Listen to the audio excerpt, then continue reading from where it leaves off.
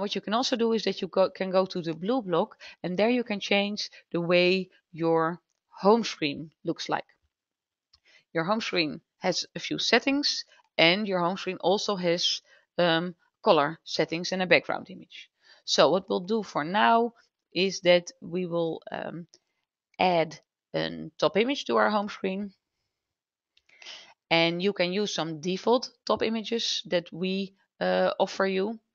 You can use an image from your uh, the scan from the site. Um, you can also look into the images that are already being used in the app and maybe you want to reuse them. You can search for Google. I already showed you how that works. You can upload your own uh, image that maybe somebody made uh, for you. And as of next week, we also offer an integration with Getty images.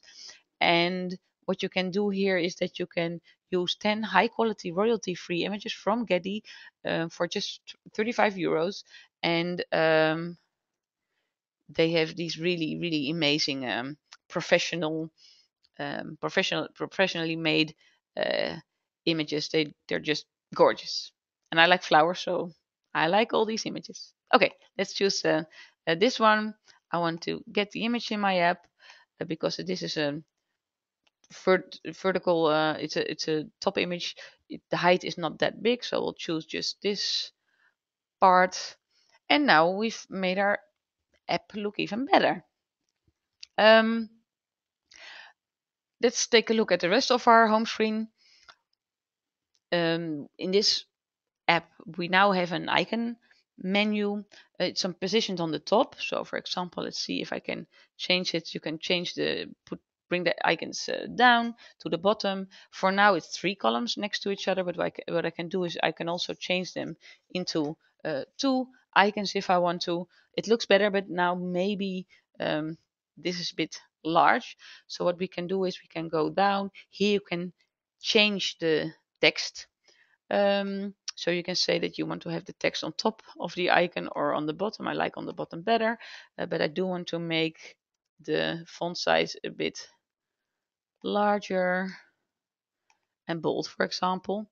Now, the you only see two icons now because the other one they left because this, there's not enough space to show all of the uh, and both rows and both um, the descriptions. So it's just a matter of just trying out and see um, which you like best and which fits um, on the screen. So here you see uh, the icon. The icon is the white uh, image uh, with the eye uh, for example, and you can make it look, uh, you can make it bigger or smaller. Um, and what you here see is the icon background. The icon is positioned on top of the icon background and it has two states and the press state is a little bit darker. So whenever somebody clicks the button, it will show up a little bit darker and will then uh, open the screen. yes, I want to keep the changes. Glad that he asked me, so I'll go back to the menu. Um, so that's the way how the icon backgrounds um, work and I can make them a little bit smaller too, for example. And now I have probably more space to make the font size bigger again. So let's just start playing around and try the different options. Um, so these are all the settings we offer with the icon menu. We offer a lot of different uh, menus um, we also offer a list menu or a tab bar or a sliding menu that slides away.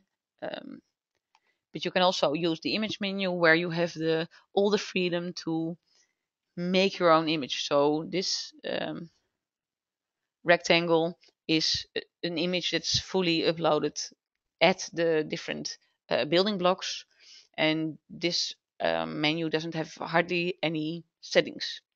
Um, for example, I can change our app into a list menu. We'll just save it. And now our app looks totally different. So it you can you can uh, set the, the, the row height here, for example. You can make the font uh, uh, bigger again. So you can make it look totally the way you want to. Um,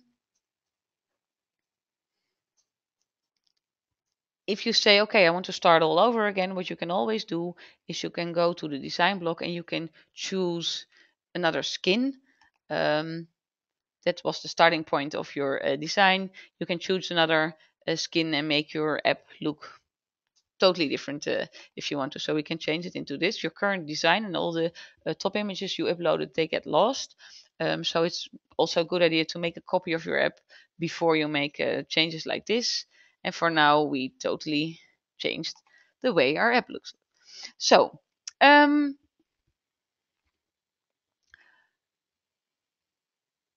let's see if I forgot something. I think we're all here. Oh yeah, I wanted to show one thing that's about transitions and browse modes. Uh, we offer um, lots of different way to make your app feel really special.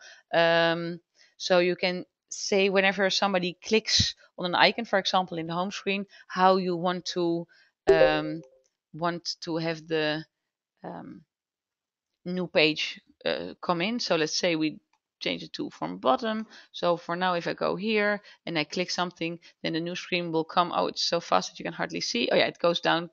No, this one you can't see. um, it comes up from the uh, bottom and it slides up. Um, so just play around also with the transitions and also with the browse mode. Uh, that's for when you're browsing through lists, how you want to new one um, to show up. I'll just put it on Paperfold. We'll go to our uh, Twitter blog or RSS blocks also great. Here, if you add one article and you want to go to the next here, this is the paper folder browse mode. Now, it's cool, right? Um,